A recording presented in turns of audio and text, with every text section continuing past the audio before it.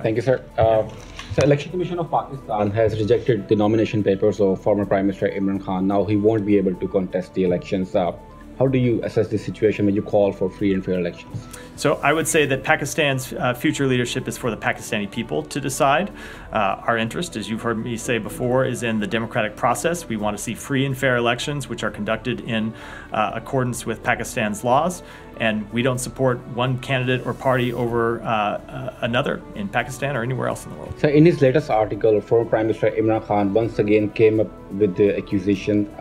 I, I know we talked about this many times, but the new accusation in that article is that United States wanted to establish military bases in Pakistan, which he refused. That's another reason U.S. government was angry.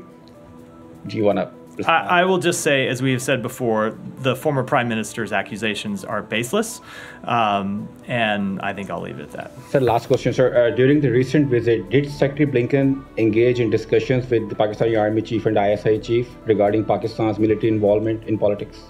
Uh, I, am not going to get into private diplomatic conversations, but we have always made clear it is for the Pakistani people to choose their government.